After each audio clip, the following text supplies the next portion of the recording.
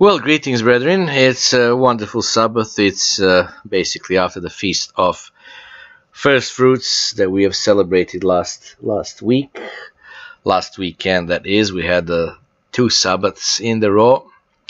We used the occasion to go uh, to one of the famous spa centers in Serbia.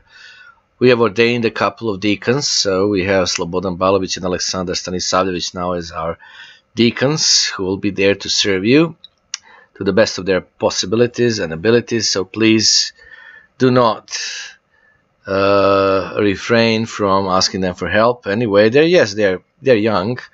Alexander is younger, but Alexander has a position of a receptionist at a very famous hotel in Serbia. He lives in the capital of Serbia, where millions of people pass every year due to tourism mostly.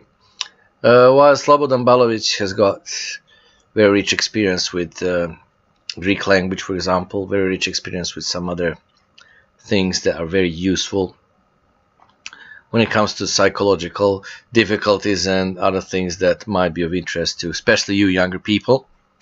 So in that case, we have got now a stronger leadership positions here in Serbia. So if something would happen to me, thankfully there are people who can continue and further this work of God.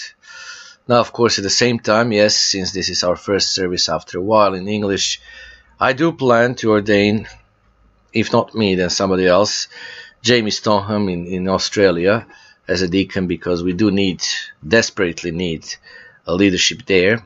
At the same time, I'm now working with Randy Fries that so that through Philip Shields, our friend, we can have Andre Nelson ordained a deacon and uh, Terry Nelson ordained elders. I'm speaking about people who have shown willing attitude to serve others, who have shown in their lives and in their example, their example is of service, and I'm very, indeed, very thankful that I'm associated now with all of you in the same church organization, brethren, with such people who have shown that willingness to serve others, willingness to sacrifice their own whatever personal positions in order for the truth, we keep being accused, and yes, uh, the, the, the lies keep being spread all the time, especially from that black black continent region. But uh, I'm confident that God is going to work it all out, and I think many will be ashamed when all things come and be revealed. Many will be ashamed of what they did not know, what they did not hear, what they did not believe and at the same time we can live at a total peace. I plan also to make inaugural speech on 15th of July. It's the Sabbath prior to the 16th of July. Now you may wonder why 16th of July is so important. Well, on 16th of July, brethren, we founded the Hope of Israel Library here, uh, and now we are part of the Hope of Israel Worldwide Church of God. What a wonderful thing! So um, at the same time, 16th of January was the anniversary when I returned to Serbia after my turmoiled spiritual life at Ambassador. Uh, and after I organized Student Underground, and uh, after we have uh, struggled to uh, make you know things survive and, and continue to preach the truth and be uh, and be continuation of what was the good work during the life of Herbert W. Armstrong.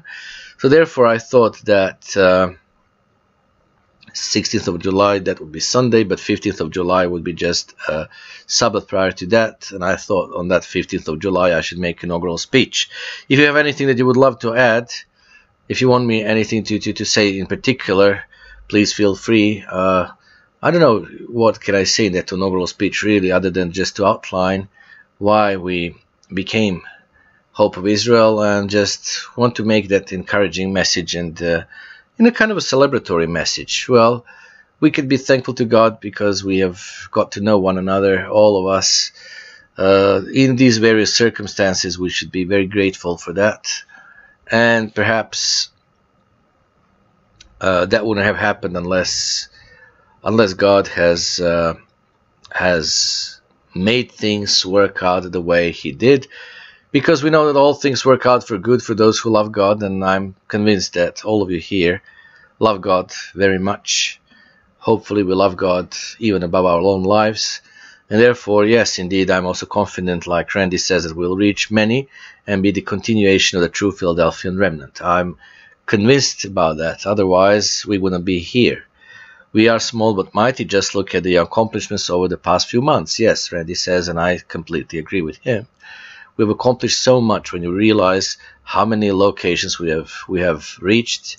But it's not only the locations; it's the quality of people we have, uh, the quality of all of us gathered here, brethren it's also a wonderful blessing we have. Don't don't you ever diminish and don't you ever forget that we have a wonderful blessing that we enjoy confidence of uh, uh, of a government of a, of a nation. In this case, as the nation of Malawi. You know, we have demonstrated to that government, so to the very top leadership of a country, that we are truly Christians, that we truly want to help those people, that we truly want to preach the gospel, of, that we are not going to tolerate lawless and sinful individuals who have been the same individual I, have noticed again in this his latest report he keeps lying all the time and, and and and all you know and then you come to realize we were associated with people in Africa who are just embroiled in lies. All of their life is lies. All of their all of their uh, reports are lies. All of their uh, all of their uh, requests and stuff are based on personal gain. So all that is coming from, from, from, from, from that continent, of course, going to Californian headquarters, it's all lies. It's lies and it's corruption and it's so terrible. Thankfully, we're out of that. Thankfully, we're not associated with that anymore. But thankfully, also we have we enjoy the uh, wonderful confidence of of the of the government of Malawi, and I'm so grateful that we have our friend Forster, who is there, and uh, his eyes are constantly watchful and whatever happens on the soil of Malawi, as far as church matters are concerned, we're being informed right away, truthfully and uh, and, with, uh, uh, and, and and constantly being informed about all the various lies and manipulations that these these these, these crooked people in Africa are doing. In any case, I wanted to tell tell you about brethren to speak about the subject of Christian calling because um, Many people have no clue that we are all here called, that Christ is the one who chose us. We didn't choose him. And here we are now in hope of Israel, bound by the same hope and the same faith and the same love. And you know, when you receive sometimes the invitations to any, for example, for a wedding ceremony, it says, you know, there is an invitation card and it says, you're cordially invited to attend whatever. It could be a formal dance party, it could be a birthday, it could be wedding wedding party, whatever. But it's always a card beautifully printed and goes on to describe the elegant and enjoyable event to which you are invited. Now, uh, you know, a simple invitation party, it's really easy for us to understand. But many people today do not understand, and perhaps even those who have come into contact with God's church do not really understand how God invites how God calls those he wants into his church. Yes, you heard me well. He invites those he wants into his church. It's not something that we can volunteer for. Many people do not understand the Christian calling, and we, being Christians, I hope that we will understand it. And thankfully, the Ambassador College was a very useful institution in those days, in the last century. And thankfully, there are many very good materials that have been left as a legacy. And uh, just before I, for example, before I ordained our, our, our deacons, I provided them with uh, materials that were printed back in those days, in the 70s, 60s, uh, just to give them a clue what the serving of God's people implies, and so that they would just be prepared for that ministry and um, again, there are various other lectures from Ambassador. For example, the um, uh, the awareness of the House of Israel and the identity of the House of Israel today, and so on and so forth.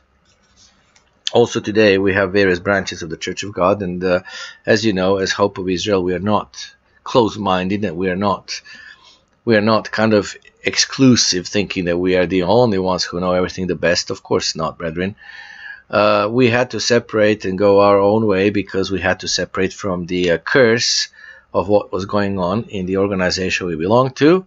But that doesn't mean that we do not understand and do not appreciate the brethren all over the world in various branches of the Church of God. And thankfully, there are many of those, many of them, some of them are very educated, some of them are veteran um, ministers, and so on and so forth. So uh, we use their wisdom as well. We, we, we, we, we use what they have to produce because all of that is for the benefits of the church. It says that in uh, today in Serbia, we, we, we discussed about that, that we are all members of one body and that God has given to all of us various gifts for the benefits of all. And that's exactly why how we are to be behaving. And uh, as you know, I'm very keen about reverting the process of scattering, the process of fragmentation, scattering of God's people. That really deeply hurts me. And I've vowed when I was ordained as an elder in the Church of God, I vowed to God and I, I, I, I pleaded with God and vowed to God and asked God to use me to revert this process of fragmentation and and and and, and uh, division within the body of Christ. So the body of Christ is div divided; it is fractured, brethren, mostly because of various personal vanities, but also because of various circumstances that have affected God's church in the last century, towards the end of the last century, as well as during this century. But uh, one vital factor that played in the fragmentation of God's church has always been personal vanity. And people unwilling to cooperate one with other, people willing to be leaders and to have their followers and all of that. As you probably know, I'm not a person who suffers from that. I'm not a person who just uh, wants to have followers. I want to be associated with honest people, people who love God, and people who are willing to uh, do whatever is within their power to spread the gospel message. I know none of you is perfect. I'm not perfect myself either. But certainly, I'm always willing for cooperation. I'm always willing for God's people to see unity. Remember the Psalm? Was it Psalm 133 or something? How how uh, we have a hymn how beautiful, how pleasant for brethren to dwell together in unity. So David did tell, remember, like, tan, tan, tan, tin, tan, tin, tin, tan, tan. So, unity, it's so pleasant and blessed thing. And I, and I know I'm not, I'm not uh, naive to think that it will happen perhaps in, in this dispensation of God's church, but one of these days it will have to be accomplished and I certainly want to be part of that success and I believe you all want to be part of that success so in the meantime we'll be working for that success now back to the subject. People do not understand the Christian calling. They, that is, they do not understand whom God calls or how God calls people or why. Such a lack of understanding is saddening for those that God now makes the heirs of salvation. And they're commanded, as it says in Ephesians chapter 4, verse 1, to walk worthy of their calling. And in 2 Peter chapter 1, verse 10, they're called to make their calling sure. So brethren, that refers to us, okay? So we are basically, we are called by God as heirs of salvation. We're commanded to walk worthy of our calling and we're commanded to make our calling sure. So that, that we can be elected and then that we can be faithful to the end. And one of these Sabbaths we're going to be speaking about the uh, what does it mean to uh, to endure to the end, and then to see and meet our Savior as He returns, and then to become the co-workers or the co-rulers with Him in the kingdom of God. And if any time, if any time you have doubt what is our future destiny, just please remember Revelation 20 when when uh, John, whom the revelation was given by Jesus Christ, when John saw thrones and those who were beheaded for the word of God and for the testimony of Jesus were given those thrones to sit on them. And the judgment it says in some translations like in one Serbian translation it says judgment was given to them to judge for 1000 years so there is no doubt of what is our destiny and what is the destiny of the saved it's not to be harping harping uh, whatever harping guitars and harps or whatever harping things on in heaven and and praising endlessly their Lord. That's a lovely thing, but it will be a bit, a bit, you know, a bit boring after a while. But the Lord, the same very God of Israel, has uh, laid out the plan of salvation for all humankind. And right now, as we have celebrated a week ago, He is working with the first fruits of salvation, preparing them to help Him lead to salvation the rest of mankind when the right time comes. And the right time will come when Jesus Christ returns. Then later, in the uh, second resurrection, there will be right time for all those who never experience and who were who died before the return of Jesus Christ. There'll be billions of people there, brethren. In any case, the thing is, so how can we do? How can we walk worthy of our calling, and how can we make sure our calling sure if we don't understand what our calling is? And yet we find we don't need to remain in darkness about this vital and foundational subject because the Bible teaching is very plain. It's plain, but of course, as you know, the Bible is a somewhat coded book, and uh, it's not always easy to understand the Bible. But um, once we decode its message, then we can put together all of those pieces of information and we behold absolutely a stunning, amazing picture. You see, brethren, when God calls a person, He invites that person into his church to help the church perform its great commission of preaching the gospel to the world. As we know in Matthew 24 14, this gospel will be preached to all the world, and then the end will come. And also, another reason why God calls a person is to prepare that person to rule with Jesus Christ and teach God's way in the world tomorrow, as we used to call the coming kingdom of God, the world tomorrow. And you might remember some of you, the world tomorrow. Ladies and gentlemen, Herbert W. Armstrong. So the world tomorrow, that's how we used to call the, uh, the, the, millennium or the coming kingdom. Now, with Matthew 24, 14, you are well familiar, so that's why first reason why God calls somebody. So to perform that great commission of preaching the gospel. and The second one is to rule with Christ and teach God's way in the world to come. Uh, please go to Revelation. I've already made reference to Revelation but you may wish to uh, see it and you may wish that we read it from from the Bible indeed. Revelation let's go to chapter 2 and chapter 3 in chapter 2 and 3 as you know there is the message of Jesus Christ to all seven churches on X uh, or on former uh, mail route. That was in Asia Minor. So let's go to Revelation chapter 2 and verse should be I think verse should be 26 uh, Revelation chapter 2 and let's see verse I think verse 26 would be the message to Thyatira if I'm not from if I'm not mistaken.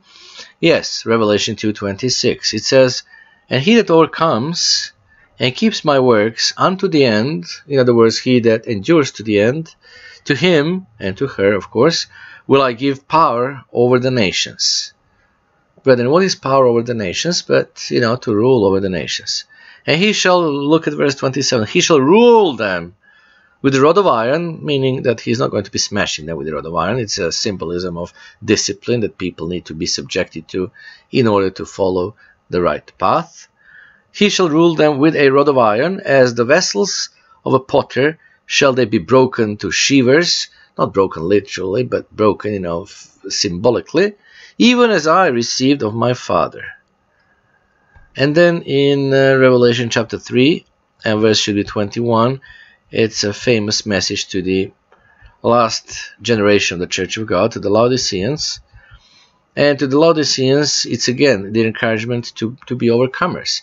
To him that overcomes, will I grant to sit with me into my throne, even as I also overcame and I am set down with my Father in his throne. So, this is, you might say, the reward of the saved. And uh, that is the main purpose for being called brethren now, to prepare to rule with Christ and to also help the church perform its great commission.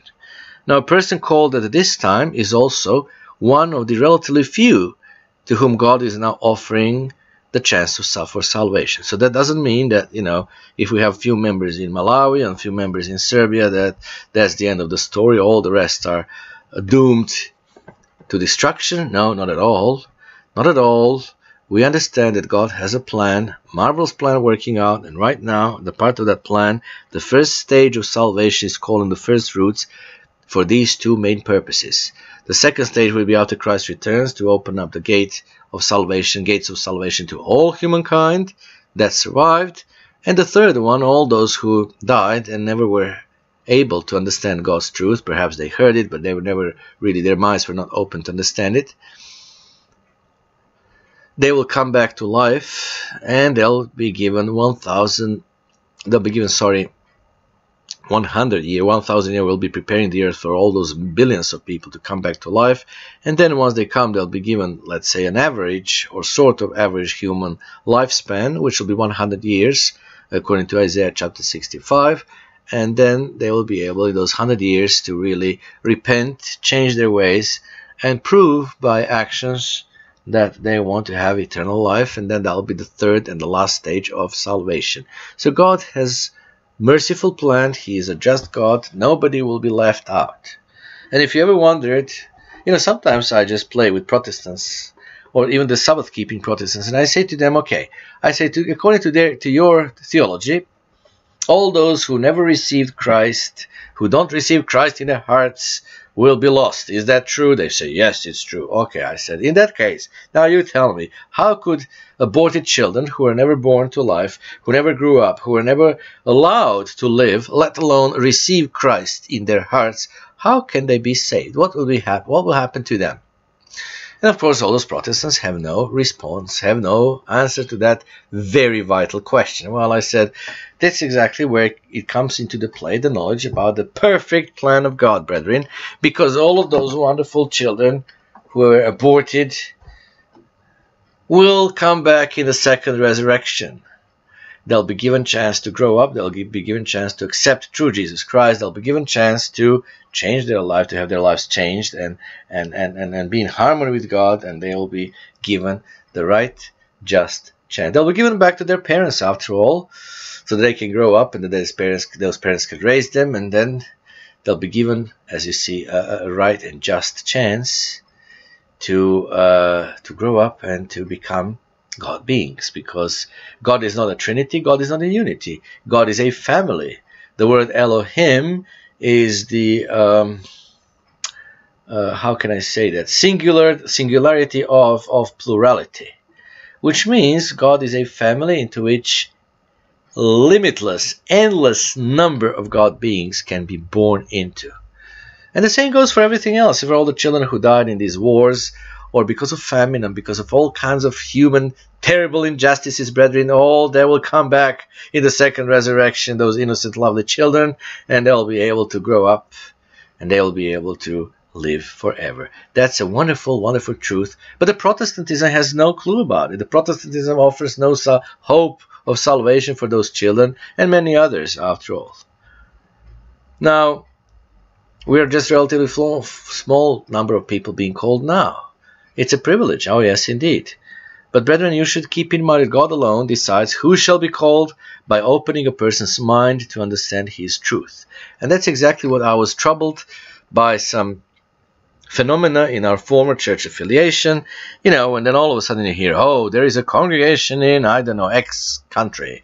And I don't know, this congregation used to be Seventh day Adventist, now they're part of us. Or, I don't know, in this and that country, uh, we have re- oh we have received requests for these three congregations to join us. As brethren people cannot volunteer to join god's church. Please understand that. And even worse we would just accept all those people without any question.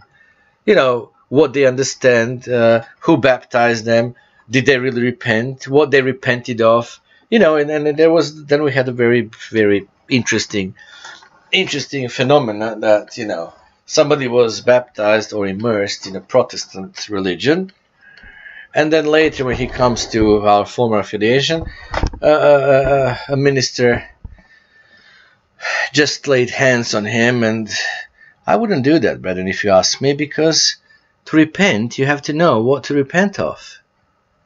Now, perhaps that person before you know his repentance didn't know that he had to repent of keeping keeping pagan holidays. They have nothing to do with Christ. So um, it was just without any critical thinking or, or, or, or consideration. that people were just being admitted into the church fellowship. And yet we had no idea where they came from, what doctrines did they learn before prior to their coming to, to, to our fellowship. We had no idea who they were, who baptized them, and and and and and and and, and simply what is in their minds. You know, quite often I would just uh, forgive me if I'm a bit uh, if I'm a bit overbearing with with remembering some of past experience, but I think it's good for for for you to understand your calling. Uh, sometimes, you know, I would suggest that we make some survey, anonymous survey, to see what people did and did not understand. I was thinking even about making such survey with the ministry, and we'll be doing that. By the way, I've already I've already cautioned the, the, the ministers in Africa, especially those in Kenya who want to be joining with us, that there'll be some surveys. Not because we want to catch them in, in error and whatever, but we want to need we need to understand what they may not be understanding. You know, Africa per se is a is a, a world for itself. It's a very insulated kind of area where people just are mostly directed to their own little lives. Many of them don't even have a TV set, you know, you know, because sometimes even through TV we could just get to know the world around us a bit more or other countries. But these people, many of them, I realized, didn't have even TV. So when I would appear in a car or something, there was this the children would especially get very worked up and you know oh muzungu muzungu you know the white man and then they would just run after you and then they would just you know run after me just to see the white man and uh, when i was sitting in a region in kenya called mau mau uh, I could see children, you know, touching touching my skin because it was white. Some of them were touching my hair because they've got very curly and strong, kind of strong hair. Hairs. Mine is very kind of uh, mine is like a straw. I was uh, I always compare my my hairstyle with a straw. It's very, very, very unique, even in, even in the white world. So you know, they would be touching my hair, touching my skin. You know, they were just they were just so interested. It was just it was to them it's a phenomena. So because it's it's you know it, it's a world uh, directed to itself, they don't have much contact it seems with the with the with the outside world. So then sometimes you cannot understand the Bible unless you have some history background, you know. For example, how can you understand those seven seven church eras? How can you understand the seven uh, uh, seven hills on which the the the the the the, the, uh, the fornicating woman sits? Uh, how can you understand the Rome? How can you understand some things that Constantine the Great did unless you understand the history? Speaking of Constantine the Great, oh my friends, today right now, today, it's the Sabbath, but today is the day that the Serbian Orthodox Church here set apart to celebrate this day as the Constantine's Day, which, of course, was a one very good uh, occasion for me to lambast once again his his pagan, disgusting doctrines. Uh, I didn't pay much attention to that. My sermon today in Serbian was about uh, each one of us being members, many members, but of one body, body of Christ, in which I then explained what the phenomenon of the church really is. It's a spiritual organism made up of those with whom Holy Spirit is working, and uh, that's a completely different idea from what Constantine uh, uh imposed on this world as a church uh, and what the church represents. So uh, today is a Constantine's Day, and we were reminded of that. And uh, I'm working still on a booklet on Constantine and original Christianity, which I hope to have translated. Uh, it'll be in Serbian, of course, because he was born in Serbia, by the way. But uh, and I'm I'm ashamed. I was deeply ashamed. I have to admit to you of how much I did not know about Constantine and his role in subverting the true Christianity. Uh, the church did mention it here and there, but it was never really, never really dawned on me how important this subject is. So I'm still working, uh, adding a little bit of sources, Serbian sources to that booklet so that the people would not say, oh, you wrote about concept, but you didn't read this book and that book and stuff. All of those books are basically rubbish, brethren, because then what they do, they just celebrate his, the fact that he gave Christianity uh, equal rights in the Roman Empire and nothing more than that. the, the, the, the, the, the Serbian historians, they just point out that he is Edict of Milan, and that's about it, you know. And then and that's that's a heroism. So as somebody said last last weekend, as we kept the Pentecost, somebody said, "Isn't it wonderful?" Uh, he he gave equal rights to the Christians, and then the Serbian people uh, uh, uh deified him basically, and they call him a saint. And he's not only a saint. Today is the day he's only a saint, but uh, he's equal, equally saint, equally, uh, equally holy as the apostles. He's equal to the apostles when it comes to sainthood. Could you believe that, brethren? What a blasphemy, terrible blasphemy. But today is that the Serbian Orthodox Church keeps that day in honor of Constantine the Great. And I hope, and again, you see, I'm just giving you this as an example that you need to know some background to some things. This is the man, I'm speaking about the man who, who basically annulled the, uh, the, the most solemn occasion for all Christians, the, the the New Testament Passover. Because remember, Jesus Christ, prior to his death, prior to being arrested, changed the Old Testament Passover symbols.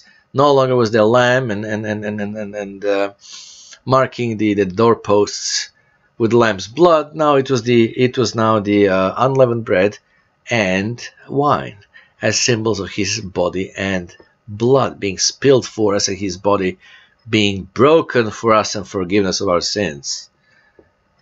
You know, that is so important subject, so vital. But brethren, I have to admit to you, a few years ago, I wouldn't have known that this horrible criminal called Constantine the Great did that. And then I realized after a while, look, many of our brethren have no clue about him. Then I thought, look, but many of other Sabbath keepers have no clue about him. Then I thought to myself, wait a second. The most people who are most aware of him eh, are, you wouldn't believe, the, the, the, the, the Messianic Jews and those Messianic Jewish circles. But even they have no idea to what extent, to what extent this man is a criminal, spiritual criminal. So I said to myself, hey, wait a second, he was born in my country. Wait a second, I have to write something about him first of all to inform my kinsmen, and then later to inform the rest of the world. So, brethren, we are having the Constantine and Origin Christianity booklet on the way. It'll be it'll be soon finished, and then we'll be working to have it to have it published and, and, and published on, on on on internet, brethren, in all the languages. I need we need to witness to the whole world about the crimes against God and against God's word that Constantine did he dared that pagan with his with his title Pontifex Maximus that was succeeded by the Roman uh, by the Roman popes he dared brethren to mess up with God's law. He dared to change God's law. Remember there was this remember that prophecy in Daniel that the beast will be looking to change the, uh, the, the times and seasons. He did it brethren and what he did is the precursor of the coming European dictator whom we are waiting. Is being brewed in, in, in, in Middle East. The, the, the Serbian national TV almost every month brings us the latest updates, the news from the Middle East. Brethren, Israel and Iran are basically in, in, in, in, in race, in race of developing all kinds of means and weapons, hoping, you know, to hoping to outsmart the other side. And Iran has already vowed to Israel that because of their preventive strikes, airstrikes, Iran said it is going to retaliate one day. Why am, I, why am I mentioning this? Well, because, you know, once the Middle East conflict comes into the fore, we're going to see Europe being involved all of a sudden as a peacemaker. Oh, could you believe that? Bestial Europe is a peacemaker. Yeah, sure. And then we will see the man who will be the first beast of Revelation 13, who will be the Roman, the Roman uh, European, German of German origin, European, European peacemaker, who will eventually become the president of the United Europe. And then we know that he is the first beast. No question about that, brethren. And yes, you already know who I think it will be, but if it's not him, I'm going to apologize to all of you. Nobody's perfect, so neither am I. But he, as far as I know, you know, I'm talking about Karl Theodor zu Guttenberg, brethren. He, as far as I could see, is the best candidate that Germany has for that position. His career, his uh, command of English language, his uh, charisma, you might say, just makes me feel that he most likely is the one. If he is not the one, I'll apologize, but we'll know who is the one when he appears. Now, anyway, back to the calling. Forgive me that I'm perhaps mixing in all of these other subjects, but yes, this is the first English message, as Jamie noted, you know, of Israel worldwide. I didn't didn't think about it really at all, but it's true. Um, let me go back to the calling. What is the usual teachings of this world? Well, brethren, most professing Christians feel that God is now calling everybody to salvation. No. Others think that God calls to salvation those who wish to be called, or those who seek to be called by deciding to give their hearts to the Lord. No, brethren. Still others feel that God must surely call only the best society has got to offer, the good people, under quotation mark, the good people who try to obey God as they see Him. A few feel that a person has not been called unless he has some type of special religious experience, such as speaking in tongues, for example. And certain preachers must feel that they have the power to call people since they tell people at those tent meetings in the Western world to come forward and profess Christ. As you can just well guess, brethren, the answer to all of those ideas of the world is no. And amazingly, all these common teachings and impressions are proven false. They're proven false by the Bible. Now, what is the Bible teaching? Well, although many people use the biblical expression and profess to have been called, like, it has been two years since I was called to the Lord, well, few have ever stopped to realize and understand what they are saying. The New Testament was written in Greek, and the English is only a translation that we have. Nonetheless, the English word call well reflects the process described in the Bible. To be called is to be invited or hailed by God, much as a person might telephone a group of friends and invite them to a party. So if I telephone you over the over Skype now and I invite you to a party, online party and offline party, brethren, that's what it means to be called. There's the phone, ring, ring, ring, ring, ring, hello, oh, hi. Hi, John, this is God of Israel. I'm calling you to my church. Oh, what a shock. you have illustration in, uh, in the Gospel of Matthew. In the Gospel of Matthew 22. And... Uh, it is important that basically it's uh, the parable of the wedding feast. Now, the thing is, brethren, that uh, the kingdom of heaven, Christ says in this parable, is like a certain king who arranged a marriage for his son and sent out his servants to call those who were invited to the wedding. Uh, I'm reading now verse 2 and 3. So, the kingdom of heaven, well, that was verse 2, and then verse 3 says, And he sent forth his servants to call them that were bidden to the wedding, and they would not come. They would not come. And again, verse 4, he sent forth other servants, saying, Tell them which are bidden, Behold, I have prepared my dinner. My oxen and my fatlings are killed, and all things are ready come unto the marriage.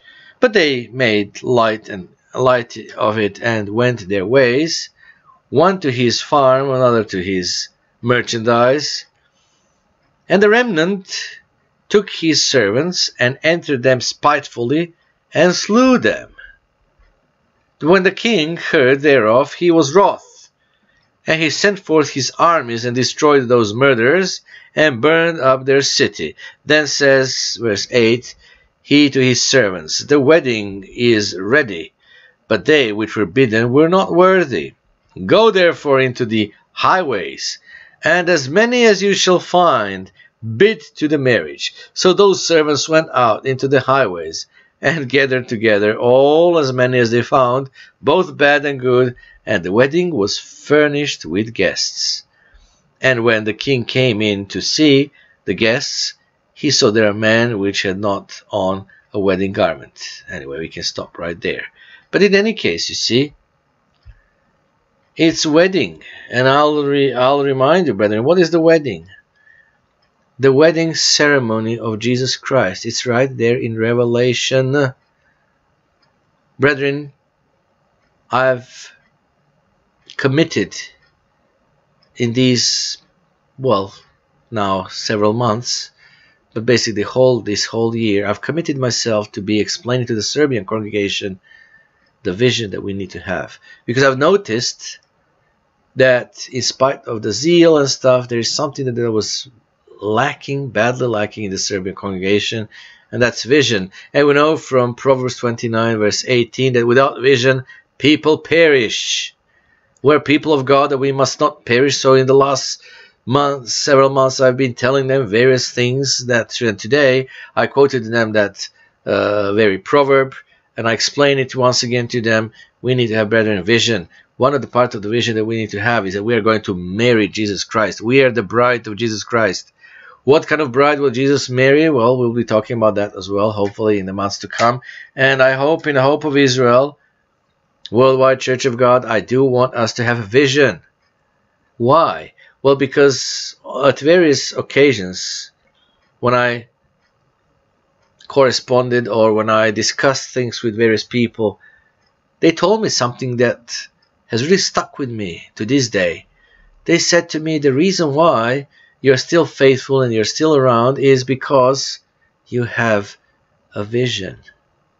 A vision about the kingdom of God, they would add.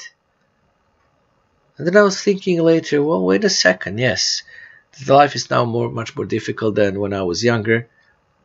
But if vision kept me through and saw me through all of these various trials, and brethren, trials in my life were not a few, and if that vision has given me strength to endure to all of these through all of these years, well then that same vision should and could and will help anybody else.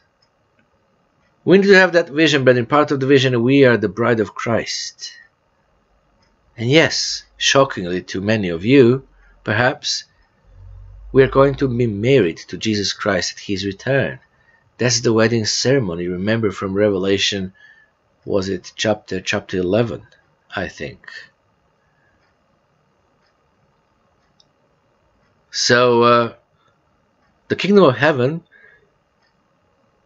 is like this certain king who arranged a marriage for his son, and then he sent out his servants to call those who were invited to the wedding. Quite plainly, then, brethren, God's calling is an invitation.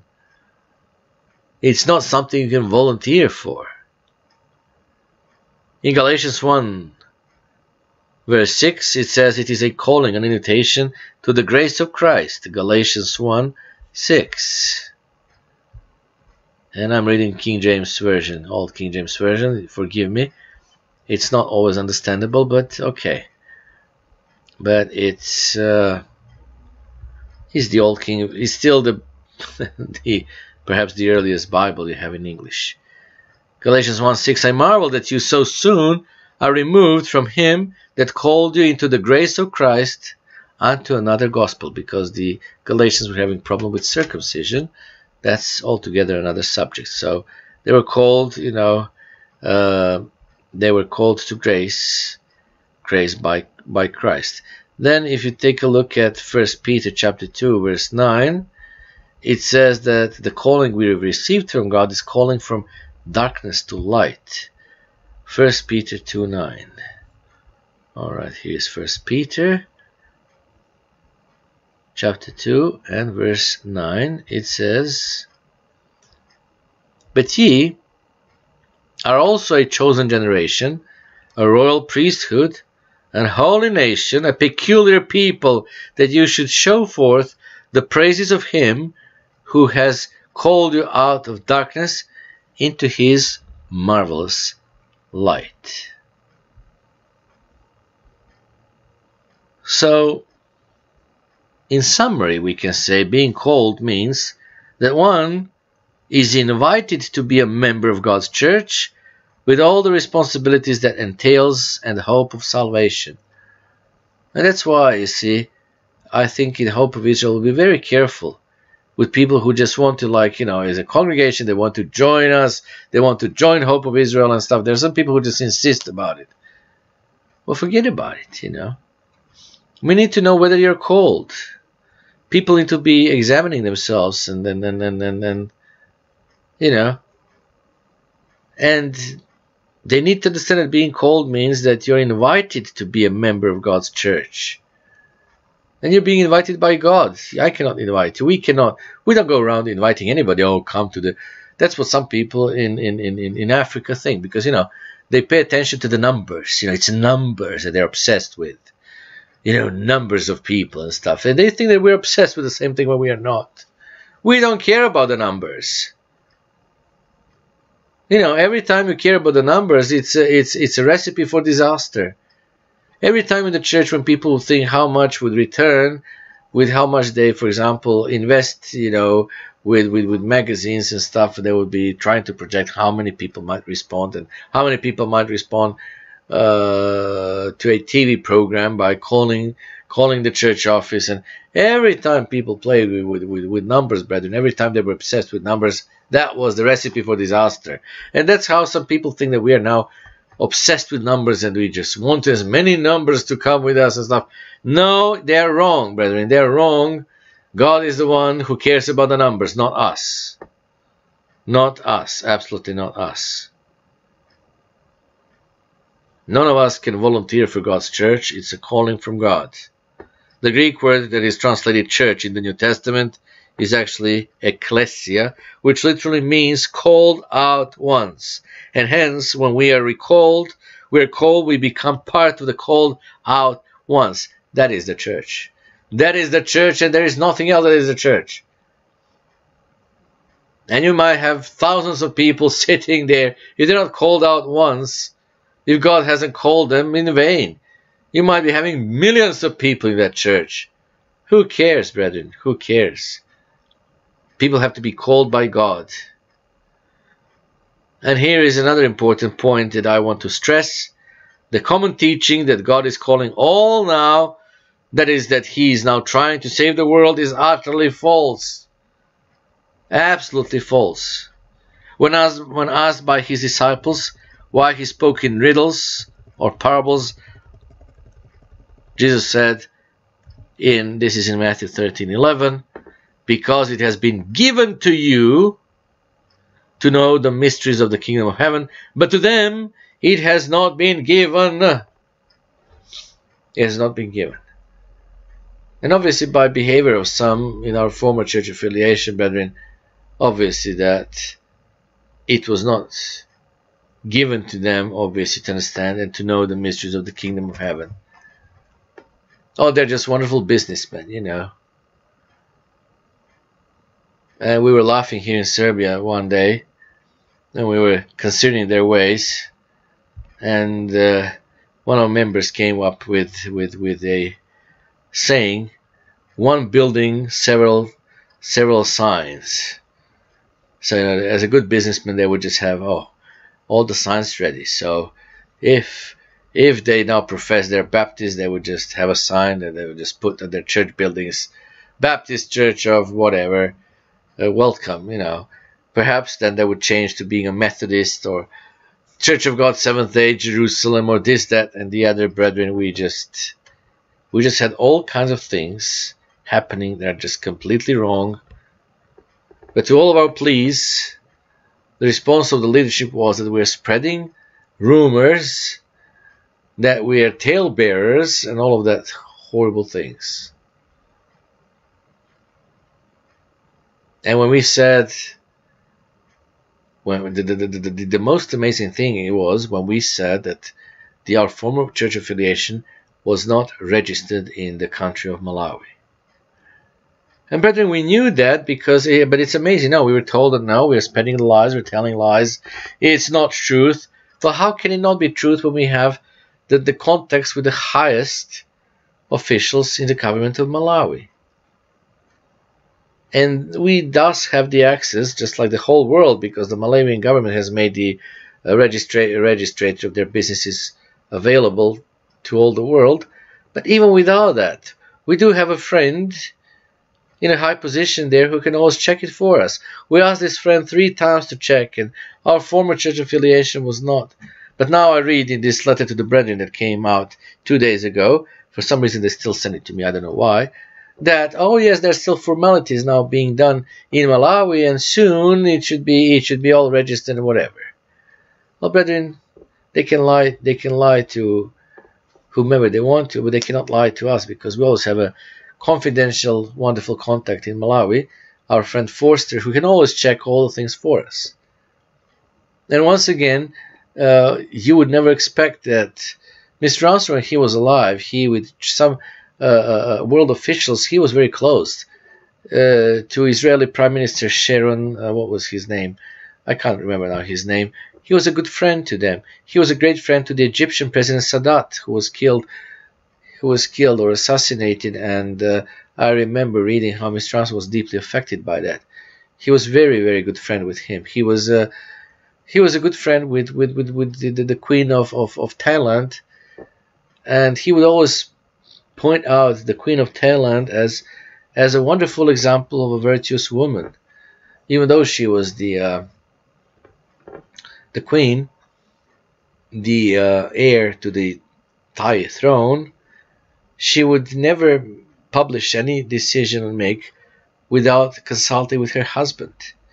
And Mr. Armstrong would point out that as as a wonderful virtue of a virtuous woman that yes she has got she's smart she's uh, she's capable but she understands that she is now under the leadership of her husband and he would take it always out as a good example and i remember reading somewhere when she came after his death i think uh, to Ambassador Founder, to Ambassador Hall, she asked for a certain gift that she presented to him. She wanted to make sure that that gift was still there.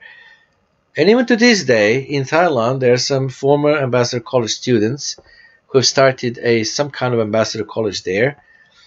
And this is very significant because uh, there is one tribe in that part of the world, Karen tribe, K-A-R-E-N tribe, and from what I've gathered from my friend Margot from Australia, uh, that tribe dis uh, uh, displays a lot of characteristics of the lost tribes of Israel. My friend Margot Crossing from Australia is a researcher. She has been researching about the lost tribes in, Austra in, uh, in Australia.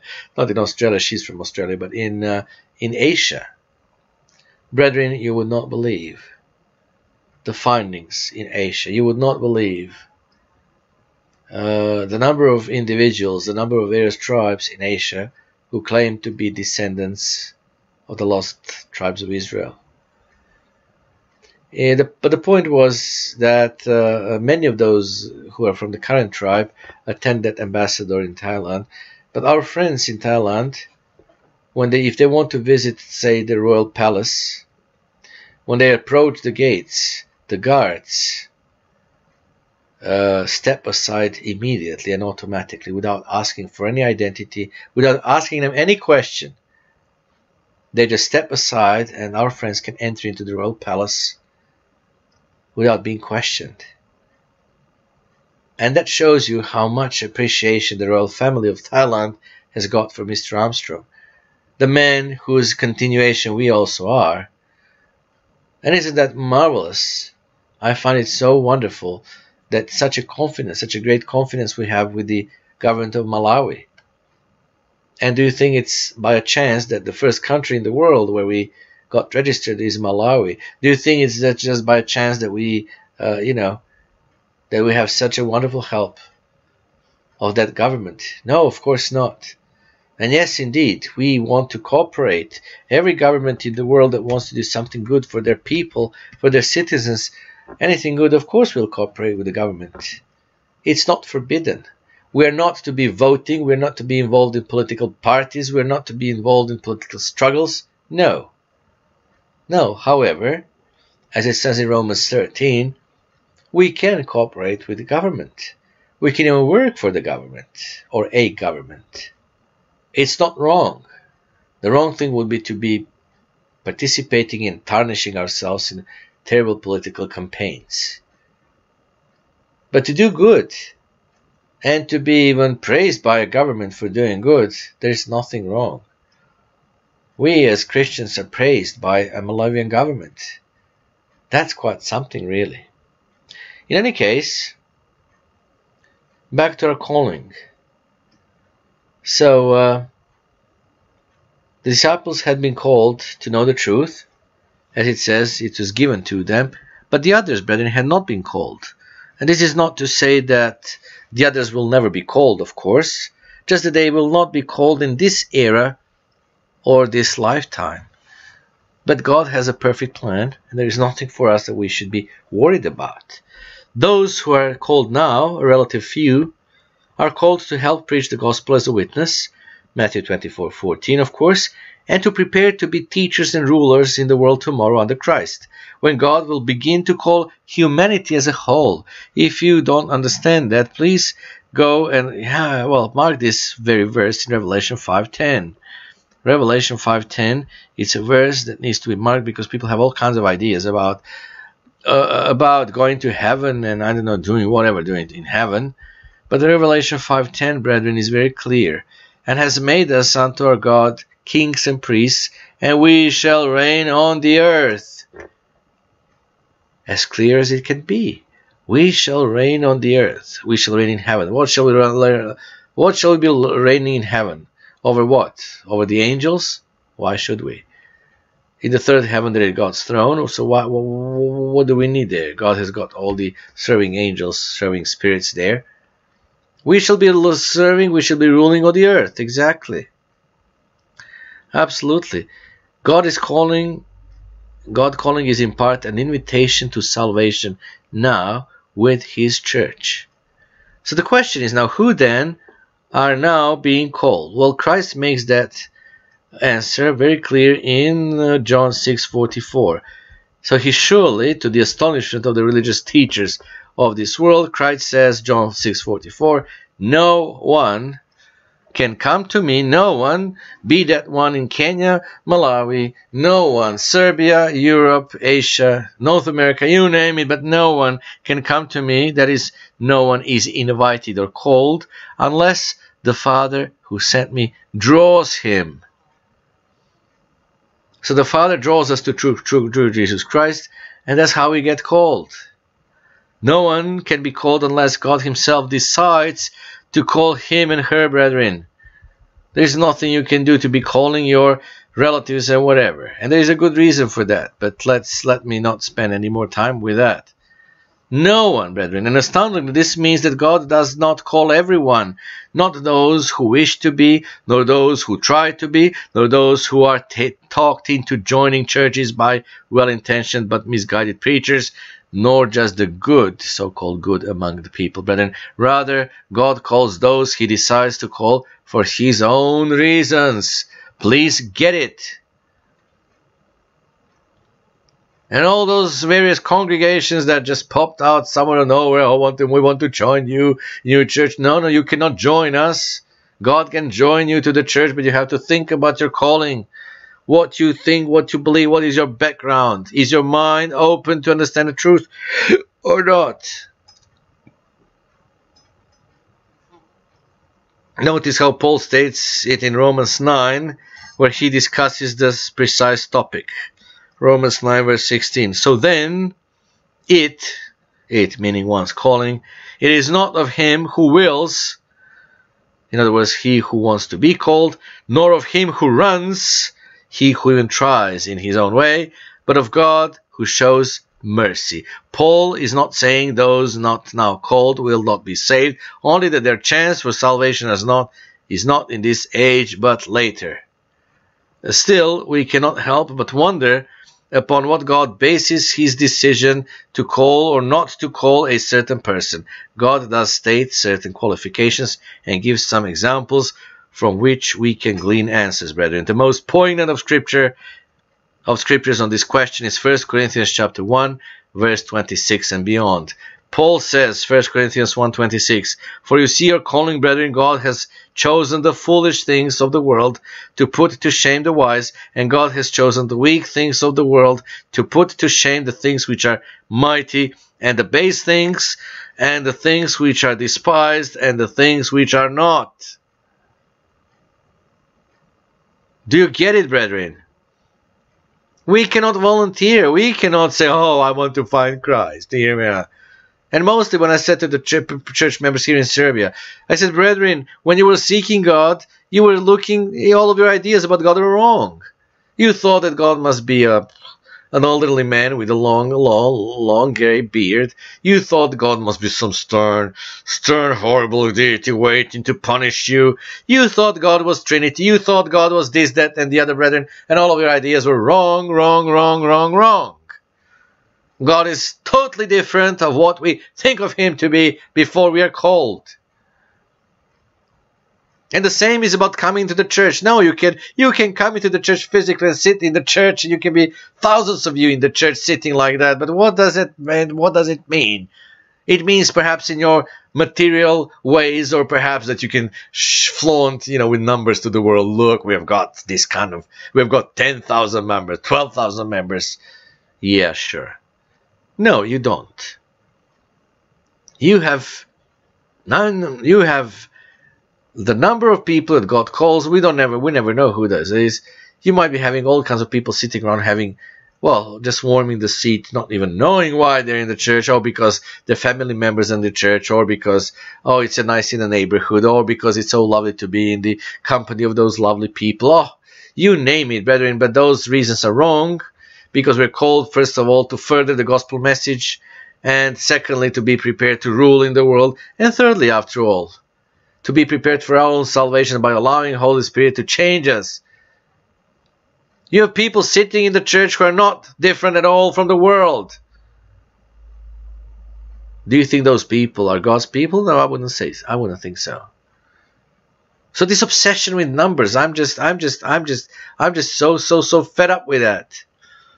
Oh, we are 22 congregations. Oh, how many of us have left our former church affiliation and now? Well, who cares? I don't care how many of you left. What I care is to know whether you're called by God or not. Oh, if this and such person and pastor will not be well, I will not be well. Who? That's your problem, not mine. That's not my problem. I'm not having problems with numbers at all. I don't care about numbers. And let all of you in Kenya and Africa especially understand that. I do not care about the numbers. I care about what you understand from God's word. That's what matters. And I care whether you are all called by God along with the rest of us, of course. I couldn't care less about the numbers. And you will never impress me with numbers like African leaders of our former affiliation try to impress me with numbers. I'm not impressed with numbers. I don't care about numbers again. And I don't care that somebody wants to join us. You may want whatever. God is the one who joins people into his church. He is the one He says that no one can come to me unless no one can come to true Christ unless God the Father draws him there. Period. But I'm absolutely amazed. I'm absolutely amazed with this constant, in my case, futile attempts of some people to impress me with numbers. Oh, we have such and such numbers in our congregation. So what? So what? What does that mean to God?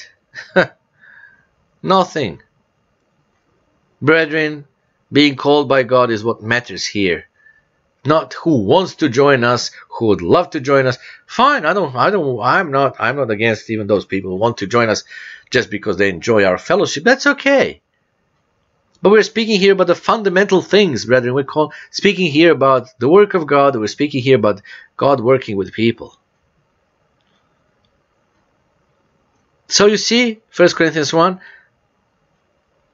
26, 31. So things that are despised, things that are shameful, and so on. So literally, then God picks those who are foolish, weak, and despised in the eyes of this world. That is, He does so in order those who are saved are humble and do not take the credit themselves. He does it so all can see that if God is able to save the weak now, he must surely be able to save the strong later. Yes, indeed.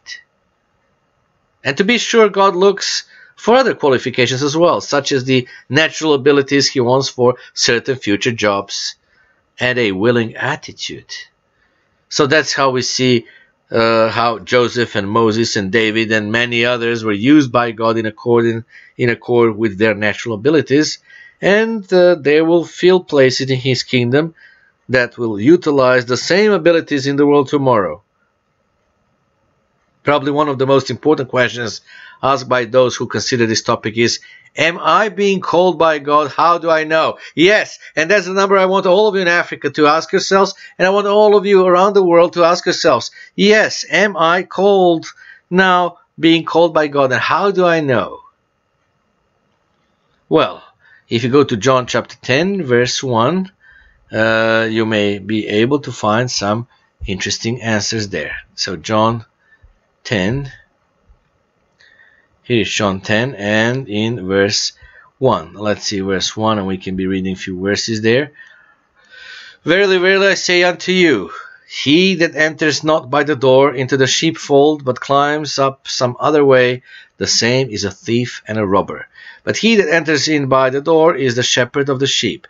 To him the potter, the porter opens, and the sheep hear his voice, and he calls his own sheep by name and leadeth them out. And when he puts forth his own sheep, he goes before them, and the sheep follow him, for they know his voice. And a stranger will they not follow, but will flee from him, for they know not the voice of the strangers.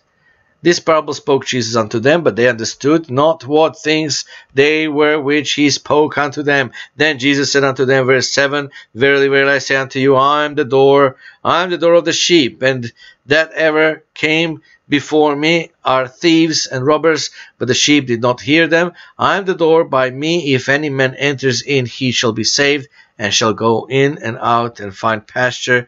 The thief comes not, but for to steal and to kill and to destroy. I am come that they might have life and that they might have it more abundantly. I am the good shepherd. The good shepherd gives life for his sheep, but he that is uh, that is an hireling and not the shepherd, whose own the sheep are not, sees the wolf coming, and leaves the sheep and flees, and the wolf catches them and scatters the sheep. The hireling flees because he is an hireling and cares not for the sheep. I am the good shepherd, and know my sheep, and I am known of mine. As the Father knows me, even so know I the Father, and I lay down my life for the sheep.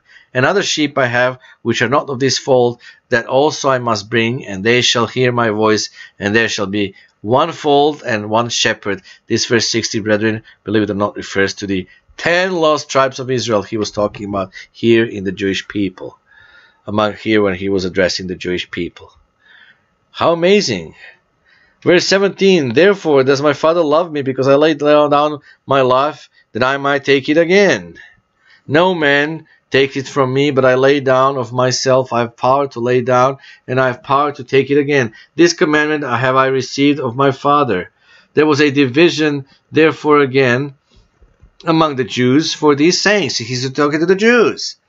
And he mentions the lost sheep of the house of Israel as well in verse 16. Isn't that amazing? Isn't that wonderful? Verse 20, and many of them said, He has a devil and is mad. Why hear you him? Others said, These are not the words of him that has a devil. Can a devil open the eyes of the blind that he did? And it was at Jerusalem the feast of the dedication, and it was winter. The feast of dedication, of course, is, you might remember, it's Hanukkah. And Jesus walked in the temple in Solomon's porch. Then came the Jews round about him and asked him, how long does you make us to doubt? If you are the Christ, the Messiah, tell us plainly. Jesus answered them, verse 25, I told you, and you believed not. The works that I do in my Father's name, they bear witness of me. But you believe not, because you are not of my sheep, as I said unto you, you are not of my sheep, brethren. That's the key thing. Not how many members do we have, not how many countries do we have, not how many thousands we have. Who cares about all of those thousands if they're not called by God and if they're not God's sheep? My sheep, verse 27, hear my voice, and I know them, and they follow me, and I give unto them eternal life, and they shall never perish, neither shall any man pluck them out of my hand. Forget about numbers. Forget about counting how many congregations we have in this country or that country. Forget about that. It's the calling of God that is now crucial for all of us. Especially you people in Africa, forget about it.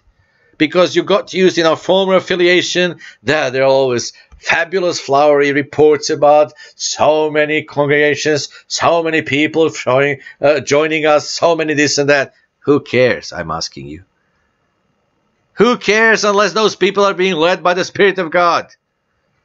And we have seen that those leaders there are not led by the Spirit of God at all, but by the Spirit of the devil. They keep lying about us all the time. They keep making up things.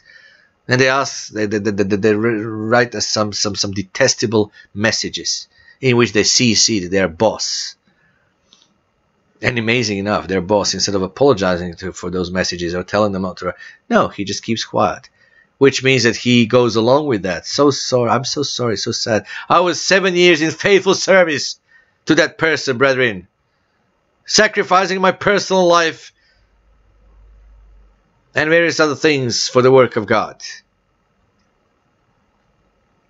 To the end that I'm and some of my friends are experiencing being being, you know, being being lied about to that person and that person lying about us as well. and telling me and my friends that we cannot possibly we cannot possibly be a Philadelphian remnant. Oh really? Oh really? Well let's God judge it. Let's God show it, brethren. But be assured it will not be shown by the numbers. Oh, we have 12,000 members. We must be. No, not at all. Not by might nor by power, but by my spirit, says the God in Zechariah. So the might of humans, the might of numbers, the safety of numbers, it doesn't, doesn't matter to God. Not by might nor by power. I, I think I'm quoting it correctly, but that's something. But it's about that, not by word, but by my spirit, brethren. It's the spirit at work that is crucial for the hope of Israel, worldwide Church of God.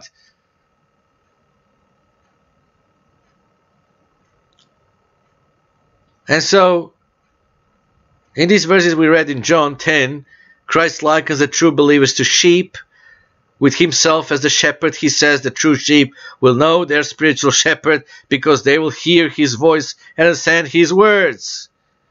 The point of the analogy is this one whom God is calling will have his mind open to understand what he hear when he hears God's truth. One who is not being called may hear the words, but like a foreign language, he does not or she does not understand, those words will not be mixed with understanding and belief. God calls then by opening one's mind to understand and believe the truth when he or she hears it. Has nothing to do with numbers, has nothing to do with intelligence, has to do with God's intervention in your life. Enough. And just, you know, don't try to convince me with numbers, and by numbers, I don't care about numbers. What I care, I don't care about power and might of humans. I care about spirit at work. Are you being called is the question. You are if you are understanding and believing the truth. Such is the clear meaning of many verses, such as one that we read in John 10. There are also other verses like in Isaiah chapter 6, verse 9 and 10, in Acts chapter 28, verse 23 to 29, and Romans 11, 8 to 10. Let's go to Romans 11, 8 to 10. Are you being called? Well, Romans 11, 8 to 10. According as it is written, God has given them the spirit of slumber, eyes that they should not see, and ears that they should not hear, after this day. As David said, Let their table be made a snare and a trap, and a stumbling block, and a recompense unto them. Let their eyes be darkened that they may not see, and bow down their black alway. What about Isaiah chapter 6? Let's go to Isaiah 6. And we'll see verse 9, I think. Isaiah 6. Well, 9 and 10 indeed. We're going to see verse 9. And he said, Go and tell these people, Hear ye indeed, but understand not, and see you indeed, but perceive not. Make the heart of these people fat, and make their ears heavy, and shut their eyes, lest they see with their eyes, and hear with their ears, and understand with their heart, and convert and be healed. No, nobody can be converted, brother, unless God calls him or her to conversion. And of course, once God has opened the mind of a person to understand spiritual knowledge, he must bring that person into contact with the truth so he or she may hear the call. So, in conclusion, yes, it can be an enjoyable thing to be invited to a social gathering or a party, but it's joy unspeakable to be among the few now invited, called by God to fulfill the Great Commission and qualify for salvation and eternal life as children of God. So, therefore, once again, please stop, any of you, stop any of you being obsessed with the numbers, number of congregations, number of this. God doesn't care. And keep in mind, it's somewhere in Zechariah, I'll find it later, but I know I remember that verse because very often it popped up in my life. Not by strength, not by human strength, nor by power, nor by number, I'll add, nor by number of the congregations and congregants, but by my Spirit, says not me, says the Lord. Brethren, Christianity and Christian life is a calling from God. People cannot volunteer. People cannot just come to be registered and be part of the church of their choice. It doesn't work that way. It's God's calling. Keep that always in mind.